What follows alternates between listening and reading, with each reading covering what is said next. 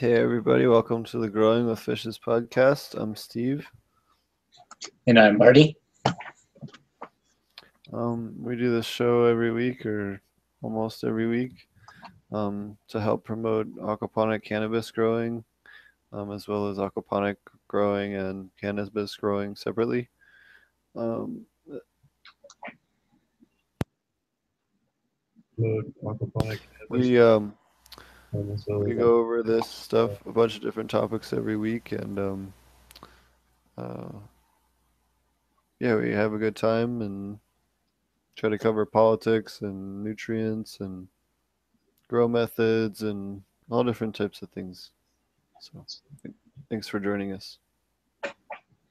Sorry for the late start today. We are having, I'm still having all kinds of technical problems with my uh, with my end. I'm not really sure what happened. Everything was working fine, and then um, it was acting a little funny. I decided to reconnect and disconnect, and then everything went haywire. So I'm not, I I don't like to be a conspiracy theorist, but it was right after you made that joke about the CIA. it was, it was. And so I was telling him the building where the office, where my office is at the mo now, and where um, is uh, an old, um, and where I'm working with Key Life and stuff at. There, it's an old CIA. They had like high profile protection people and stuff through there. Um, and it's all like bulletproof and all kinds of crazy stuff. But they have a tower there. We were thinking about trying to get the licensing permission to get do like a cannabis radio or something crazy in Denver. Um, who knows if it'll ever happen, but it was just something that we were thinking about, joking about. Um, but yeah, that's what he was referring to. So, how's Uh, your week been, Steve? The week been the week's been good. We've been working on um my life's been totally crazy. So before I go back to Jamaica, I'm going back out to or I'm going out to Humboldt. Um we'll be out in Humboldt working on some projects out there. So we'll have some really cool footage of some stuff out in Humboldt. And um uh starting after the 15th. And um, what else do we have? Yeah, a bunch of different stuff going on. Um, we have a bunch of different things in the cooker. Um, there's some cool stuff coming in the pipeline in the nutrient end. Um, some cool new delivery methods and some cool stuff you guys haven't seen before um, that we've been cooking up.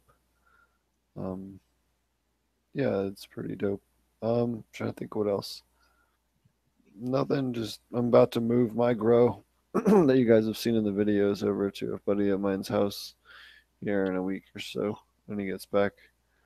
Um, and that'll be, uh, you'll continue to see videos and stuff from that setup. Um, just I'm giving it to someone that can take care of it and will listen to, you know, instruction and all that while I'm gone and things. And they're going to take good care of it and be able to, uh, keep keep good doing those video series like I was doing before I left for Jamaica. So um, that'll be really really good for everybody to see uh, more aquaponic growing stuff. Um, Couldn't uh, talk your girlfriend into doing it anymore, huh? well, she's just got a bunch of other stuff going on right now, and she's actually got. And I'll see if I can get some footage before I head out from from Colorado here on the uh, up in um, up north of here, um, up at a big hemp hemp farm. Um, we're actually doing a big test with biochar in the field with hemp, so we'll see how that works out. It'd be really cool to see. That sounds cool. Yeah. And then uh, what else do we have going on? I think that's about it for now. Some other things going on, but I can't talk about those. Um, there was one other thing. Shoot. Oh, yeah, we'll be out. I'll be out popping around on the um on the West Coast if anyone's looking to uh to get together. I'll be out um between in Northern California and Oregon um, uh, the end of July. So if anyone's around there, definitely let me know. I'll be up uh, visiting Marty and stuff. So um, Yeah, sounds good. yeah, definitely let me know. That sounds cool. And then you said you'll be in Humboldt around the 15th, right? Yeah, yeah, and then after that, I'll be in the Humboldt for at least through the through the winter, at the least at the moment. Well, until I go back to unless you know whenever our stuff gets further along in Jamaica, um, and our gear gets there and all, um, we'll go back down. But that won't be for at least a month and a half at the earliest. So takes about a month and a half to get everything together and get it shipped. So whenever that is ready to roll, we'll head back down there, and then we we have some other stuff going on in the Caribbean, and some of the other Caribbean islands that we'll be putting putting together. Um, actually, have a call about that tomorrow, um, about all that stuff. So, um, yeah, we'll have some other stuff to to show off to you guys later once it's finalized and all that. What about you? Um, well, not not a whole lot's been going on garden wise. Pretty much just been maintaining at this point. Everything's looking pretty good, getting some pretty good growth. Um, you know, the I haven't had a top water in a in a while, so that hasn't been an issue. So I give them tea about twice a week, and that's about it. Um, so the the indoor is probably like you know two weeks or week and a half or so into flowers. So not much happening there yet either. How do you, how do you um, like the dual root zone plants so far versus um, the non that that you've grown in the past? Well, I haven't noticed too big of a difference. You know, I think I'm probably at the point in um, in the indoor to where you know if I was going to top dress with something else, um, you know, now would basically be the time to do it. and you know, when they're about two weeks in the flower and they start, you know, getting ready to start really sucking up some nutrients to start forming flowers and you know pre-flowers and all that. So, um, so I've just been the same stuff that I've dosed into the system before, whether it was in the tank or in the bed or whatever. Um, the same worm juice essentially that I mixed up before. I'm just putting into the dual root zone, and um, so in the outdoor, I definitely notice that the plants are more stable in the wind, so I don't have to worry about them. Like, did it? None of them really broke last year, even though we had like you know 40 mile an hour gusts. They were all you know all the stalks were very healthy, but what would happen is the plant would tip over in the media. So um, it would just be the stalk is still straight. It's not bent over. It's not crooked. It's not snapped. But it just the whole plant shifts over, which isn't wasn't really a big deal. But um, I did notice that the you know having a little bit more of a base prevents that from happening. So that that's definitely been a bonus. And um, yeah, other than that, it, you know, I haven't really noticed too much of a difference. Um, it, I haven't really noticed like uh, you know um, like a functional wise, there doesn't really seem to be a difference once you set them up. Um, like you've talked about before, you can dose plants individually if you need to, but I haven't really had to do that. So um, pretty much everybody's just gotten the same thing. So so far, so so good. I guess I I like it just fine, and it's all just um, you know all my stuff is castings. I'm not mixing anything else with it. I'm trying to continue just making all of my own stuff. So my soil layer is essentially just dirt from my backyard mixed about 50-50 with just straight worm castings from the bottom of my worm bin. Which I think was a question at one point. Somebody asked if you can do just castings for a soil layer. And uh, I didn't do 100%, but I did 50-50, and that uh, seems to be working fine. Yeah, if you do hundred percent, it can kind of lock together and get kind of like a mud solid at the bottom and reduce airflow. So that's the downside to using hundred percent. That's why I wouldn't recommend. You know, even if you want to do hundred percent, cut it with like Paralite. or- Perlite. Yeah, that's what I was gonna say too.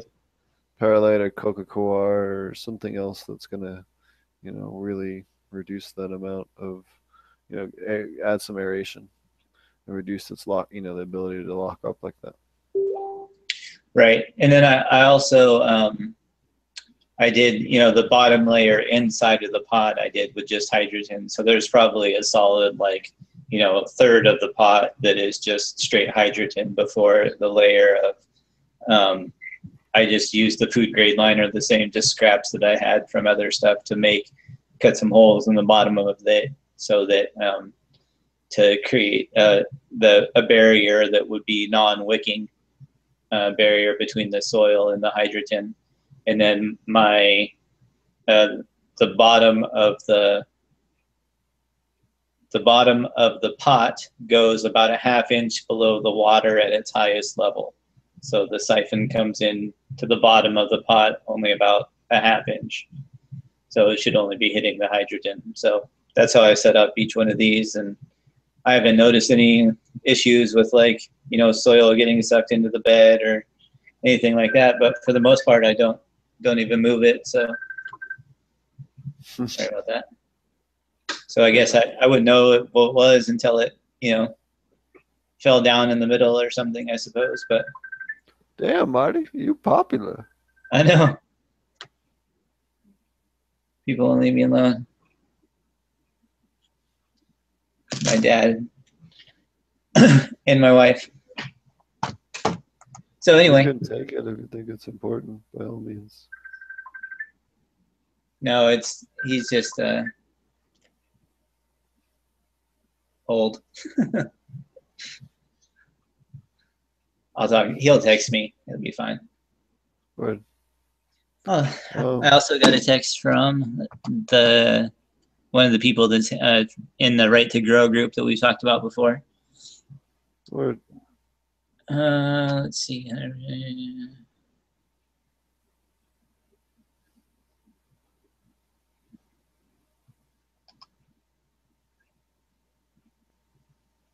Oh, Interesting. So yeah, I haven't really talked about that yet, but I got my. This is my. I'm not gonna show it on camera, but this is my extortion letter from uh, Jackson County.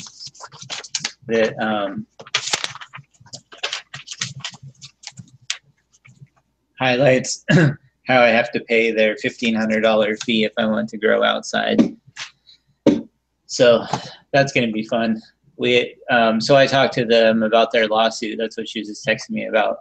Um, because hopefully I'll be able to apply for the permit without paying for it. Um, so that at least until their court case is resolved, which is supposed to be within the next like week or so anyway. So uh, but they've said that for like two weeks now. So I guess that's a little bit hard to believe too. But at any rate, um, they have a lawyer that's going to draft up a letter. Yeah. Uh, is going to draft up a, a letter that basically we can put in along with our application that essentially says like we're not going to pay fifteen hundred dollars right now because um, if we pay you fifteen hundred dollars and then the court case prevents you from enforcing these regulations, there's no way we're going to get our fifteen hundred dollars back. So, because it's just for a farm use permit, so it's not like, uh, you know, it's specific for cannabis growing. So even though they're using it that way, they would still just go ahead with the application and give me a farm use permit, even though I wouldn't technically need one for any other reason. Just get some goats and some chickens and just go. If you got the, the farm use permit, man, just just go full obnoxious with it. I really, That's you know, the thing. why though. not? I can have goats and chickens. That's the ridiculous part about it. Like, there's no problem with that. Whatever would allow you're allowed to do with the farm use thing. Bring in some kind of crazy ass tractor that just keeps your neighbor up late at night. So the- and I, I know it's this asshole that's right fucking there. I, I know it's him. Nobody else can even like you can't see my grow at all from like the front yard. My two neighbors on either side can see it, and then other than that, my property backs up against the wetlands that's right here behind it. You can't even build anything within 250 feet of the back fence out here. So there's literally nothing there for probably like I don't know two miles. So it's just it's stupid and it's all just to keep people from being able to grow and to enable people like this guy next door to be able to get his panties in a bunch and file a complaint about his pot growing neighbor. so, yeah. So anyway, hopefully I'll be able to. I'm gonna apply. I'm gonna send the letter. I'm still gonna apply for it, but send the letter that says, you know, we're, you know, essentially supposed to wait. And I'm you're. I'm supposed to be able to grow because all I have is my card and my four recreational plants. So I should be able to grow my 10 plants regardless. But for whatever reason, and it says right here on the piece of paper, other that, that pretty much that we're they're required to let us grow our four recreational plants and one patient. So that's 10 plants on property, except for like this very specific area, which I happen to be in. So I'm not really sure like you know what what the deal is because even if I was in just residential property that wasn't in this particular area right here, which they deemed urban residential, even though I'm not even technically in any any city limits, I'm just on county property, but I'm like sandwiched between two cities. So if I was a little bit farther in either way, I would be inside of city limits. So it's just this weird uh, inclusive area to where they're they're treating this entire area like it's still inside of the city that it's not inside of. So my theory is there must be like a council member's dad or something that lives over here or some ridiculous crap like that. Or property values. They're probably trying to manipulate property values for some well, I guess for profit, I guess technically, right? So that's what I I've been dealing with is trying to decide how I move forward with that. So I'm hoping that I'll either do one of two things. Either I'm going to pay the $1,500 and then hopefully be able to have more plants. So I'll go find like three more patients and be able to have 24 total plants. And I'm going to line his fucking fins with giant plants. Um, and then uh, I'll just like do all my trimming on the front porch, which is right like facing his porch so that'll be good too. I'm just gonna like bring it. I'm gonna like hang it from the rafters out here in front. Just be like, I got my permit. You can call whoever you want. I like get a big industrial fan to like blow the smell in his direction. Burn all the trim right in your yard. The 55 gallon drums blowing the smoke right in his house. Mm-hmm yeah, I'm gonna find like the most Rasta looking dudes that I can find to just sit on my porch like 24 seven and just like blast music and do nothing but trim weed and roll fat joints. just be like every chance, every time he walks outside, I want him to be like. You walk out and be like, "Hey man, can I yeah. help you with your trash, man?" every time, man, be like, "You want to hit?" Just yeah, I'm so sick of smoke it, itself look, I tried to take the high road. Like I have my shit way in the back, like you can't even see it. Like if he's yeah. even up here at his house, there, there's no way that he's even gonna smell it from back there, even in full flower. Like maybe a little bit, but at least I'm been tried to be considerate. I don't like the neighbor who grows on the other side is definitely not. So, you know, he like he does basically that. He opens up his garage door in the front and sets up loud speakers and music and has a bunch of his friends over and they all trim in his garage and in his driveway and everything, and it pisses off the neighbors. So, you know, at this point, I'm thinking about going that route. Like, why the fuck not? Yeah. You get to have your drunken barbecues whenever you feel like it and invite your son over that yells at everybody. Yeah. So, why not? I just, you know, it's just annoying. They're not even in flower yet. The plants are like, I don't know, two feet tall. and they're, I have already filed their complaint. It's just, it's ridiculous. I don't understand who's petty in that way. So it's ridiculous. Enough venting about that, I suppose. Because other than that, everything looks great. I, I think I you probably saw I posted a couple of pictures yesterday. So yeah, it's been looking looking real good. Getting lots of new growth. Everything's been been pretty much on the same.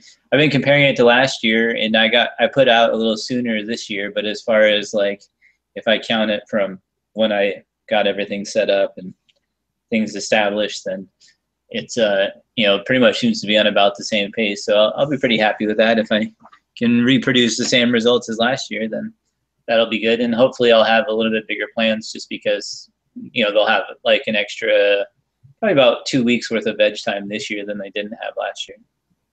Nice. So yeah, how you said you're gonna move your system, right? How's that? Are you just gonna load it up and Yeah, we're just gonna take it take it down, take the flower down, then take the veg down, and then set them back up. So so are you gonna wait till you're like in between flower cycles, or are you just gonna try and move the whole bed? right now the flower this flower room's pretty much empty. There's one plant that just needs to get taken down, and then um Cool. uh that room will be ready to just get disassembled and moved. Um, but it's not gonna get moved until uh, my buddy gets back in town. He's out of town next week, so leaves tomorrow. So yeah, but yeah, we'll be it'll be good because we'll be able to get you know much more a lot more footage out of that. So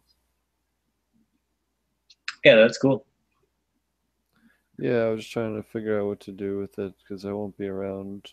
I'm gonna be bopping around so much. I just wanted to make sure we can get some kind of constant footage out of it. Trying to set it up so that we can have, you know, can start doing weekly videos from the system again like we used to do. Yeah, I try to shoot for once a week at least. Seems to be pretty reasonable. Oh yeah. So uh, I um I had an interesting thing that uh, I wanted to bring up that I found out. So there's the whole thing going around about the DEA rescheduling, and nobody really knows what's going to happen yet. Um, some people get their panties in a bunch or whatever about it. Um, there's a lot of crazy implications on what could happen depending on how, how the ruling is implemented um, and what they decided to reschedule it to. But uh, one thing I wanted to bring up on that is, is that Scotts, um, who's owned by Monsanto, is suddenly trying to buy up like every fertilizer company that you can think of that's a smaller company. I'm not going to name any, but I know of at least six or eight companies that are smaller um, nutrient companies that a lot of people use have all gotten like crazy offers from them. Um, so I'm just kind of curious if they don't know something that the rest of us don't as far as which way legalization is going, which would explain why they're trying to gobble up all these other companies. Yeah, I heard a little bit about that. I think somebody somebody posted. I don't know if it was just one of my friends or if it was in a group or not, but they were talking about that that same thing. Yeah, Scotts has been throwing offers at everybody under the sun lately. So I just found that very interesting, and I don't know, might be a good sign as far as the legalization war. Not to look into it too much, because who knows, but it would seem that way. Um, the. There's some other cool stuff that happened this week. There's the um, California is going to get their legalization ballot. Um, I know there's controversy as far as how the ballot in- initiative is. I don't actually know a whole bunch about it yet. I'm going to actually educate myself on it before I, you know, pick a stance on it. I need to, so um, I'm going to read up on it the next week or two. Um, especially since I'll be out there for the fall, or at least a good chunk of it. Um, what was it?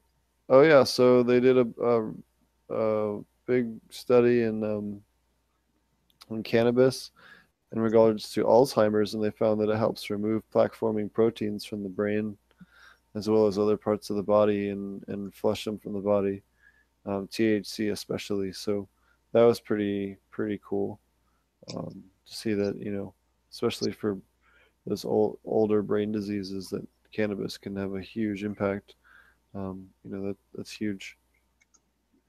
Um, and then the other one was is that Colombia is giving out its first medical uh, cannabis license. So you could see some Colombian uh, cannabis here before uh, once the U.S. ever gets their uh, act together with importing. But um, Colombia is going to start growing cannabis. So interesting to see what happens down there with that.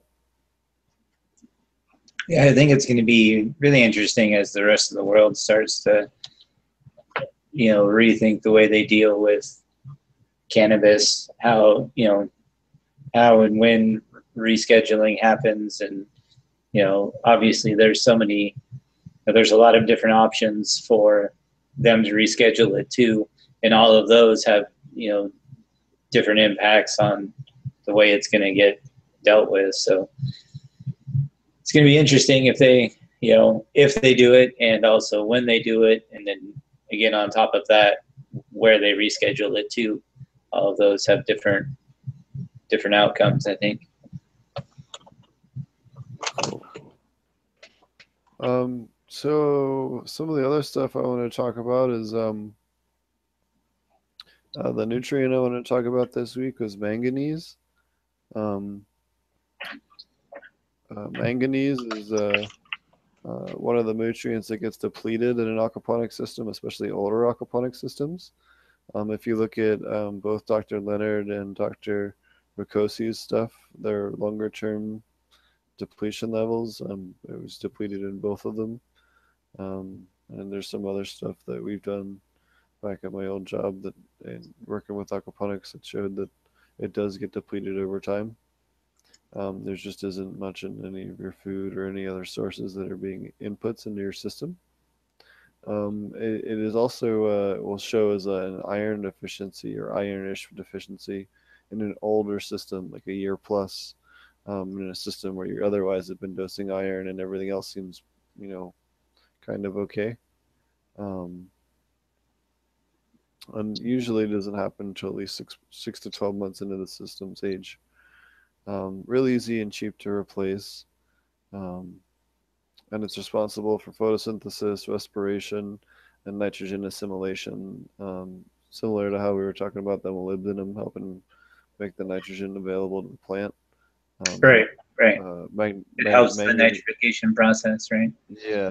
So manganese also helps with that process as far as the, the proteins and things that are involved with that.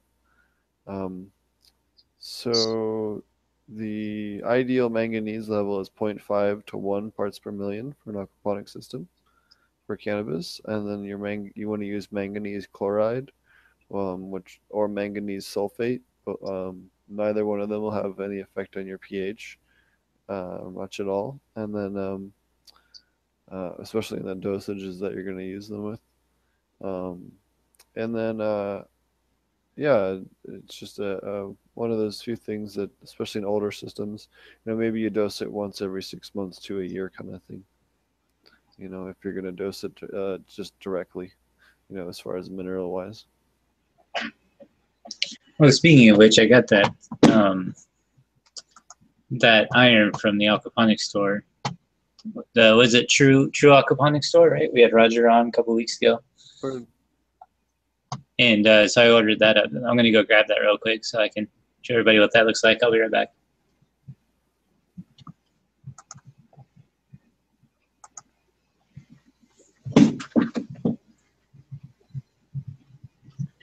Uh, so yeah, we've been working with a, or, uh, is it here? A couple different things here. Um, so one of the other things I wanted to bring up this week, having gone around to some different places lately, is um, I wanted to talk about um, uh, early detection of in, of mites and other insects, um, and, and some early detection methods. Um, especially mites at this time of year is you know spring to early summer. Um, now's a, I mean, mites spreading is real common this time of year. Um, so you know, get real, real low to the ground, or as low, you know, lower than the plants are. Crouch and then look up towards the sky if it's an outdoor, or your grow lights if it's an indoor, and and just look for speckling or, or, or dots on on the the leaves, especially the lower leaves at first, um, as well as the the very upper leaves. Um, and and just look for those to see if you have any any mite damage. And, and if you see the speckling, then take a closer look and remove a leaf and take a look at the bottom and, and give it a real good close look and and check it for mites and make sure you don't have any mite issues, especially this time of year. Um, they can accelerate real quickly, and you don't want that. So um, it's definitely something that you know is real easy to check for. And again, it's something I can't emphasize, especially this time of year, um, is getting real low to the ground, checking your plants once a day, and just putting your eyes in front of each plant 15 to 30 seconds a day, even if you're in a hurry that day or whatever. Just just put your eyeballs in front of it and give the plant a good once over with your eyes and give it a good close look and just make sure you don't see any new damage or you know anything like that. And um, you know maybe once a week pull the plants over to where you can get them good lit and give them a good spin around and and and you know check them you know depending on on how your grow is laid out. But make sure you give them a good good once over every once a week every week or two at the very least. But you know definitely check, try to check them every other day or every day if you can. That you know because if you don't especially this time of year the the temperatures and everything those those guys will take off quick and they can wreck a whole grow real quick and um, know I've seen some people lately with with some early ones that didn't quite catch it real quick and um, you know it wasn't too bad yet but you know we uh, definitely were able to show them that they had uh, some stuff going on and catch it before it was an issue but you know you got to be careful especially this time of year you there yeah, can you hear me? Yep. Okay, good. I think I lost my video though. I'm not sure. Yep. My camera started freaking out. Apparently, it's a thing today. Yeah, apparently Google uh, Google Hangouts just hates everything with the stream today. It's been fighting us tooth and nail the whole afternoon. Um, the other topics I wanted to touch on, uh, and I was going over this a lot in Jamaica, and then I've been going over this a lot lately too with some people in Colorado, is um, topping, pinching, and bending. So every time the plant puts out a node, um, or every two or three times the plant puts out a node actually, and a node is when a new leaf and a new branch comes out. Um, you want to cut the top of the plant off on the on the taller the taller parts of the branches, or the tallest branches, or the center stalk, um, so that it terminates that and the plant branches out, and the lower nodes right below it get more more growth, and you end up with more branches and more tops. Um, that was uh, especially in Jamaica was a whole new concept to a bunch of the people that I was working with, and um, they just hadn't been exposed to that before. Um, one of the other methods too I wanted to bring up is if you you know once you get comfortable with topping, which is pretty easy, you know, you're just taking off the very top, maybe quarter to eighth of an inch, just the very very tippy top of the plant, um, just the very very top of the growth. You're just trying to terminate the the stalk or the branch growth. You're not trying to do anything else. So, you know, peel back as many branches as you can so there's just the top little cluster of of um, green leaves and and just trim that off. There's also a method called fimming called fuck I missed or you know f I missed or whatever you want to call it. Um, and that's where you cut it in half um, and you don't completely cut the node the top terminal node. And um, that allows sometimes for three or four branches but uh, sometimes it doesn't work and sometimes you just get to anyway and i don't know. I don't know. I, sometimes it works sometimes it doesn't but it's another method I at least wanted to mention. Um, right or super cropping also so that, that another thing that you can do yep that was the next thing i was going to mention is super cropping which is where you take the top of the plant or somewhere near the top of the plant or taller branches especially um, earlier on in the plant's life and you pinch it as hard as you can until you crush the inside of it. You'll feel it kind of go together. And squeeze it, you know, kind of two finger widths high and give it a good squeeze and then bend it over.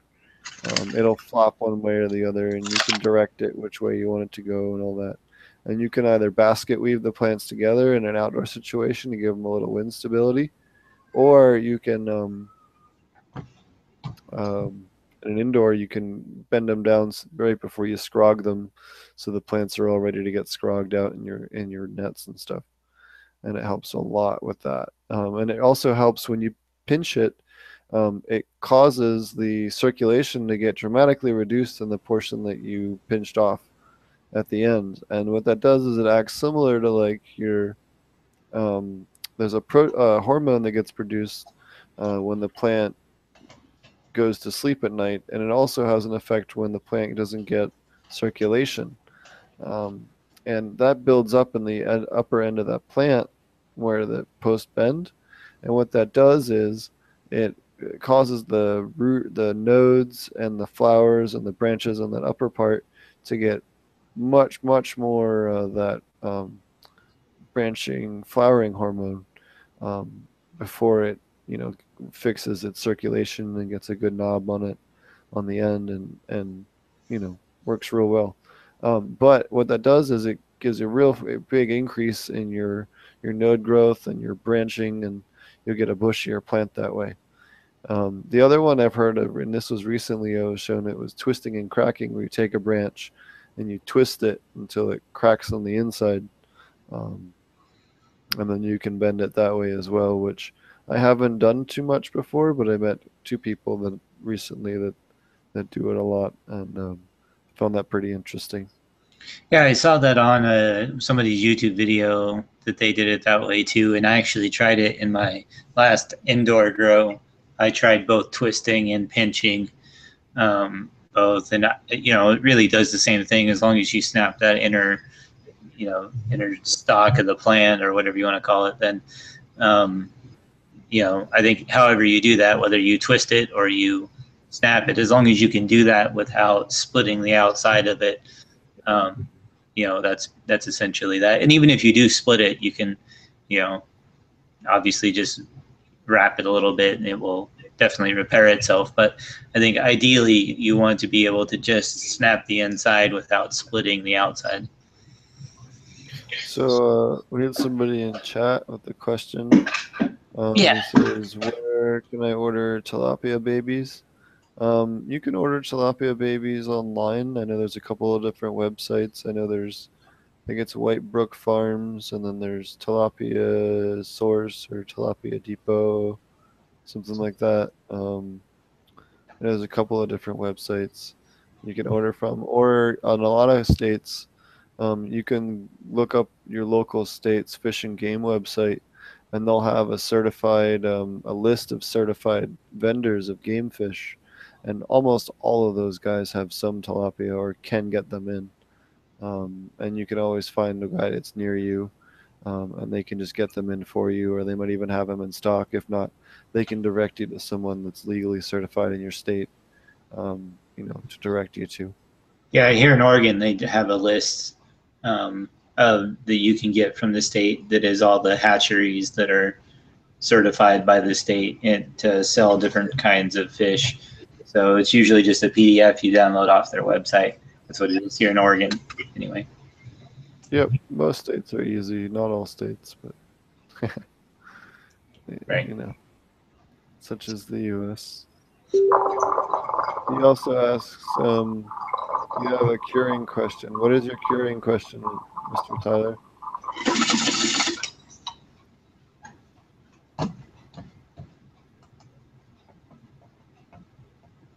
Did you have any uh, other topics, or what other things did you have going on lately, or things that have come up? Uh, not too much. I'm still babysitting the catfish eggs. Um, so, uh, you know, they should be, from what I understand, they should only be about 10 days or so before you start being able to see them inside the eggs. So, some of them are turning different colors. So, like, some of them are turning a dark color, but I haven't, you know, they're under the water. So, I haven't really, like, got down there to see. But I would assume that you're, you know, that the dark colors being able to see the, the fry starting to form inside. So still babysitting those, but other than that, they're still just fish eggs. And um, yeah, not not really too much system wise. That's it pretty much it. And then um, I went and got this uh, iron from the True Aquaponics store to be able to show you guys, but now uh, Google Video is not cooperating, so I'll show you that. But uh, I did order that from there, and uh, it was relatively easy to to mix in. And um, I just did a little bit because I already have iron in my water, but I wanted to be able to have this to show you guys. So I guess I'll do that next week. Um, so yeah, I think that's pretty much it for me. I don't really have too much else going on, um, uh, other than the legal stuff, which I already ranted about and don't want to rant again about. So that's pretty Yeah, much so- that. Do you want to talk any more about the lawsuit that's going on there? Is there any updates or anything with that, or? Um, well, it's pretty much coming to a head. They are pretty much going to have to rule on it within the next few days. So that will basically, if they, and the injunction is already filed. So basically, if the lawsuit gets accepted and the, then they have to accept the injunction, which will prevent them from enforcing any of the laws that are involved in the lawsuit that has already been accepted. So that means that as long as the both of those two get accepted, then I won't have to pay or do anything. They won't be able to enforce any of that stuff, any of those regulations that have to do with uh, growing inside or outside, or the i- i- increased regulations on plants. Because where I'm at currently for the state, I should be able to have at least 24 plants if I want to do reporting which means I have to track all my seeds and clones and how much uh, product they produce and where it goes. And they have a whole list of things that you have to report if you want to do that, if you want to be registered for another grower. So even then, that means that, I, I could have, uh, you know, four patients at six plans each. That's 24 plans plus my four recreational. That would be 28, but I'm limited to 10 by Jackson County. So hopefully all that stuff will happen, but who knows if it actually will or not. Uh, I don't have a ton of faith in our legal system, so um, I guess I'm preparing for the worst. So I'll be basically doing as much as I can legally, and uh, yeah, I think that's probably the most important thing is whether or not those two things get accepted, because then that uh, will at least prevent them from coming in and tearing out my plans. So other than that, that's pretty much what will happen is if I don't take them out, then they, you know, it's not like they'll arrest me, which they'll do in most states, but they'll come out and tear out all of my outdoor plants. Mm-hmm. Nice of them, right? Yeah, fucking dicks about everything. Yes, it is true. And I, I'm pretty sure my neighbor used to work for the county, so that's why he has. That's why he made sure all of his paperwork was very thoroughly filled out. So it wasn't even like a week after my. Well, yeah, I guess it was probably like not quite two weeks after I put plants in the ground that he had all of this done and somebody out to take a look at it. So Did you have any um any other products for the? Uh, can I use it this week? That's the one thing I didn't have time to uh, go grab anything for this week. Well, I guess I can talk about it even though I can't show, which is what I got for that was this iron chelate from Roger over at True Aquaponics, which is basically just a, a powder of iron chelate, 11%, you know, food grade. Um, and, uh, you know, it's relatively simple to use. You can mix it into a water solution and pour it in is probably what I would suggest. You know, they have a whole uh, sheet um, that comes with it that explains how to calculate how much you should put in. So it's you know it's pretty easy to use. It's just a powder. Um, yeah, so I just mixed it in with my worm worm tea that I normally feed, and uh, added it to to one of my beds. And um, like I said before, I get uh, a considerable amount of iron already in my water, so I didn't. I used about uh, probably a quarter of what they recommended for just a normal system because I already know I have a lot in there. So I was not really concerned about that. But um, so so far in my what to use category, I um, I actually went and got the whole box of stuff. I still have the the Maxicrop um, powder, which is basically just a sea kelp powder, and uh, that's the same kind of thing. Is pretty much uh, you know you mix it in with a solution, or you could top dress it, I suppose, if you wanted to. And uh, you know, again, I just mixed it in with my worm tea right after I've already you know brewed it and got it all ready to go. Then I just add it right before I add it with everything else. So I mean, essentially, it's just food for microbes. And uh, then I have the raw um, microbial mix, which is uh, not sure what to think about NPK after their whole, you know, their recent stint with their Mega Wash or Mighty Wash or whatever. But this is what I had at the local grow shop, which is basically just uh, microbes. There's a whole list on the back, uh, which are specifically designed for blooming, or at least it's what it says here. But we talked about it in one of the previous episodes when we did um, did that. And then, of course, in here I have the Mammoth P um, and the Modern Microbes testers. Yeah. So I'm gonna um, I'm going to make a alfalfa uh, SST. Um, I ordered some alfalfa seed that I'm going to use to make a sprouted seed tea and blend it up, and then try to make essentially a Mammoth P culture, since that's pretty much, you know, for the most part, what they're they're putting in the bottle here is alfalfa extract in order to feed it on. So I'm going to see if I can create like a little homemade Mammoth P bucket. See how that goes. the um, you want to explain to people what seed sprout tea is? A little bit? I know we touched on it before, but Um, sure. Yeah, it's basically if you look up sprouted seed tea, that's what SST stands for. Um, and how to make it. There's a lot of different walkthroughs online. You can also go to the where I got the instructions to do it, and the ones that I follow were in the um, Probiotic Farmers Alliance group on Facebook. It's in their resources section. It's uh, easy to join. You just search for it. And I'm, I don't even think you have to be approved. I think, and even if you do, they're pretty quick about it.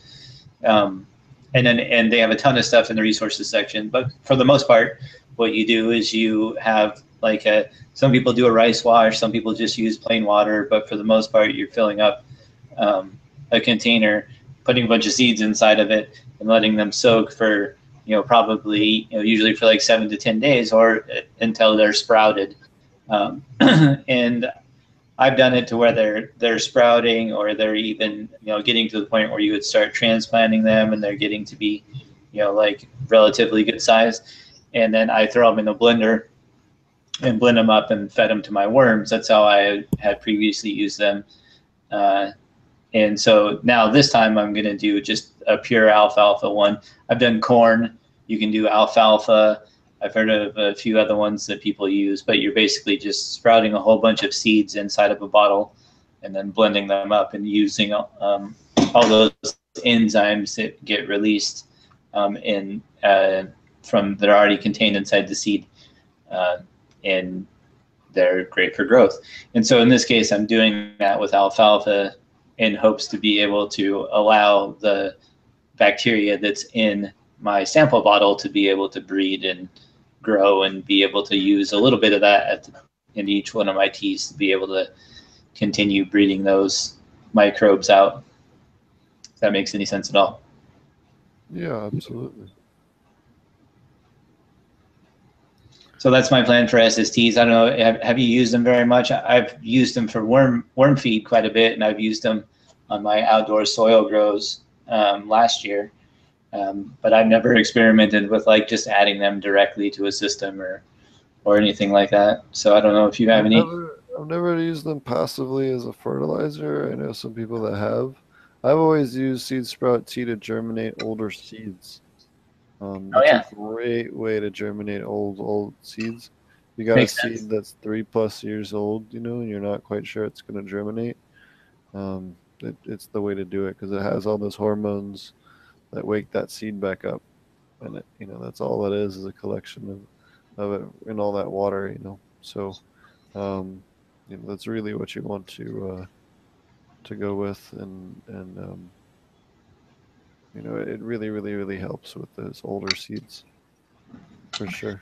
That's that's how it was first introduced to me. My grandmother, my my grandmother actually grew up during the depression, so they didn't really have money to do buy any of their own stuff. So they made their own cloning gel out of um, uh, willow, fresh cut willow branches and concentrated. And um, you know they'd make their own insecticide different insects out of. Um, they make a nightshade tea out of potato and tomato leaves and some pepper, you know, hot peppers uh, seeds, and you know, just all different kinds of stuff that she brewed up and com- she compost teas and um, you know, all kinds of different stuff that she introduced me to. And seed sprout tea, she taught me about the seed sprout tea and we were germinating some old vegetable seeds. But that was the first time I had ever been exposed to it. So. Yeah, it's supposed to release a number of different um, enzymes like as soon as the seeds crack and as they and even as they start to grow and establish their first roots they're re- releasing enzymes that um, that i guess from what i read are in a lot of cases especially with i think it was it wasn't alfalfa it wasn't corn. I want to say maybe it was just like wheat or no barley. That's what it was. A lot of them were using barley for their veg teas, um, and and being able to just you know essentially sprout a whole bunch of them, and then uh, those enzymes when uh, they get released, and the reason they were adding them to their fermentations was that it was a nitrogen fixing enzyme, but that was just what some dude posted in PFA. So I don't know if that stands up at all, but.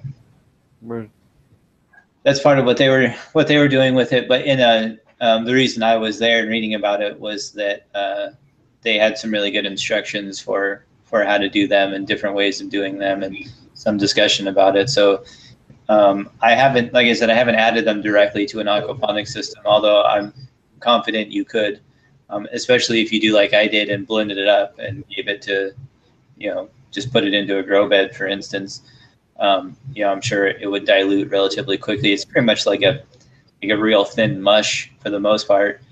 Um, one, you know, once it's blended up, there's really not not much substance to it. So, um, you know, I know the worms love it.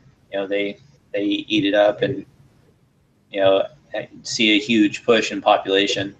Kind of like if you you know when you put coffee grounds in or something like that, that um, you know you can just see a big difference in their activity. Yeah, absolutely. So that's my sprouted CT experience. It's relatively limited. I've only been doing them for a little while. My buddy, that's a uh, big organic grower, and been a member of PFA for a while, and done his last few grows with that sort of uh, bokashi style um, growing he just set up some sips, some sub irrigated planters out of some kiddie pools, and uh, some of that liner that I had I had here, and those are those are looking really great. I'm excited to see how those turn out. Nice. So But you I- want to explain what sips are? Yeah, SIPs are sub irrigated stands for sub irrigated planter. So it's sort of I, I really look at it really similar to dual root zone. You know, in that you have a layer of soil up above. In this case, a, a small water reservoir that you basically keep full of anaerobic bacteria um, in a relatively low pH uh, to what at what you're used to in a water reservoir, and allow that bacteria to sort of um, take over that lower section, and then you're for the most part all of your stuff, all of your nutrients are top dressed in. Like when you start flower, they top dress with dolomite, different things like that. So if you look up like Earthbox is a great example of a sub-irrigated planter system. They have the um, probiotic natural wellness garden, I think it's called. Don't quote me exactly, but I think it's, or maybe it's just a probiotic wellness garden. I'm not sure. But uh, anyway, it's um, the guy who does, uh, you know, sort of the professional level grow kashi. Um, the original, if you were, I think his name is Alan. Alkinson or something like that. I can't remember right now, but anyway, he was the one that uh, posted all that and got together with Earthbox to create um, that that system. But you can even they've had you know Earthbox has had their stuff around for a little while now too. But that their combination project, and they've had some great results with uh, with that. So um, you know, definitely check those out. It's a great way to get started if you don't have anything right now, or you don't want to build an aquaponics system, or you don't have room for it, or you might be in a situation like Steve is, where you're going to have to move it. So you know, it's relatively easy to move. They're relatively small size planters, and you you know, comes with all the instructions, and it's really probably the like the simplest way to uh, just get started growing like quality probiotic stuff with a you know relatively low learning curve to where everything comes in it. You just basically put it all together, top dress a couple of things when they go into flower, and make sure that that your uh, water is at the proper level, and uh, that, that's pretty much it. So sub irrigated planter is not really that much different than a dual root zone in that um, you know you have your top layer of soil, and then the plants reach down through that soil underneath it to be able to to get their water and so 90% of the time, your soil isn't even wet up at the top. And uh, so um, they have a term for it, I forget, like biomimicry or something like that, where they're basically attempting to recreate in nature the way that plants reach down into the water table below the ground to be able to pull up uh, water as opposed to rely on being top watered by just rainwater constantly. So that's the uh, I guess the abridged version of sub-irrigated planters. Yeah, and for anybody that's been listening to Dude Grows, it's similar to the guy's uh, Scotty's Hempy buckets. Um, real similar to his Hempy buckets. I haven't checked those out yet. I'll have to see what they're up to. But it, like I said, it's really similar to dual root zone or whatever. Basically, you're just allowing the plant to reach through the soil. And in our case, you know, when we're doing dual root zone, where it's basically a giant dual root zone or giant sips for the. It's an aquaponic sips, technically speaking. Other than we don't, we use anaerobic bacteria primarily to control our environment. Does that make sense? Yep.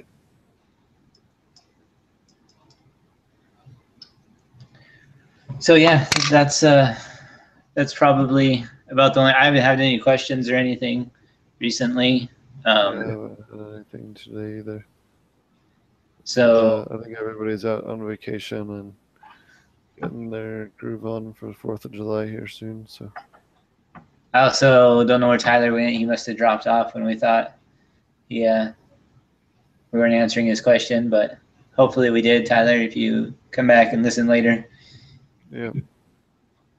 Um, we'll get uh we'll get some guests back on the show. Um, I was actually hanging out with uh, um, Scotty from Dude Grows yesterday. Um, uh, hanging out for a bit, so um, we'll be uh, we'll have some guests, some cool guests for you guys here soon. But yeah, I was hanging out with him, talking about him with uh, possibly a new project here going on in uh, um, in Denver. We'll see how things work out. But yeah, might have something in the works here. Um, scheming, always scheming. it's important. Always trying to bring you guys more cool stuff. Yeah, for sure. So yeah, I think that's uh, that's about it for me. So unless you got something else, I think that's that'll be Oh. a wrap. I do. Um, Key to Life is giving us a bunch of stuff to give away, so um, uh, make sure you uh, like and subscribe to the channel and um, leave a comment. Um, leave a question for next week's episode, um, and uh, we'll pick somebody that left a question and um, uh, and we'll uh, we'll give them send them some Key to Life stuff next week. Okay. Um, they're gonna be giving us some some giveaways for a couple of weeks and uh, and um, yeah, they're thanks for them for doing that and um, thanks for realgrowers.com and and dudegrows.com for hosting us. Uh, they host our podcast as well. Um, we also post some Uh, my buddy and I post some um, aquaponic blog content over there under the aquaponics section, so be sure to check it out. There's some really good articles on lighting and microbes and a bunch of other cool stuff on there.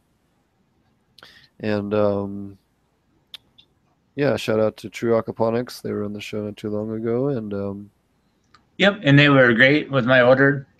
I put it in. They got it shipped out right away. I had it within like two days, and uh, was you know cheap, and obviously it was what I ordered. And so, you know, if you guys need any supplements, especially if you're gonna end up having to order it anyway, um, you know, I get a lot of messages from people that are in outlying areas and stuff. He'll he's got a lot of information about uh, you know like w- what ships and what doesn't ship and where to find stuff. A lot of times he'll just say that it, you know, just let you know it might be easier for you to find it somewhere, you know, locally that you might not have thought of, you know, something they might have it. Like uh, I think Steve was talking about the some of the stuff they have at the chicken feed store, um, where you can find a lot of bacteria and stuff that they use to help, you know, from a lot of different stuff, um, like anti-mite medication and different things like that. So, um, so yeah, definitely shout out to the guest on the show and um, did a great job on our, on my order here. So definitely check them out at the True Aquaponics store. Um, if you need any supplements, it's a great place to find stuff that you know you can put into your system. Yep, that's another great option as well. Um, what else uh, is there? I think that's everything for now. Um, be sure to check out my uh, we have a website is Potentponics. If you want to write us a question, leave it in the comments, or you can email me at potentponics at gmail.com or um, the you know million other ways you can get a hold of me. Um, Barty, you wanna you have your channel and um, Yeah, so make sure I posted the link to our Facebook group in the chat section. So definitely hit us up in that Facebook group. It's Aquaponic Cannabis Growers if you're just searching for it. Um, we, you know, we post a lot of pictures to there in between shows and have a discussion outside of that. So uh, any questions you have in between shows, you're welcome to post there as well. We'll try to cover those. Uh, my channel is AP Med, Steve's Potent Ponics. Subscribe to both of those. Uh, yeah, I think that's it. Alrighty. Well, thanks to everybody for joining us this week. I'm sorry for the technical issues in the beginning. We were we're having all kinds of problems, as you guys can see. So uh, we're just grateful that we were able to get the show off today. at this point. So thanks for watching, and um, we'll see you guys again soon. All right. See you guys next week.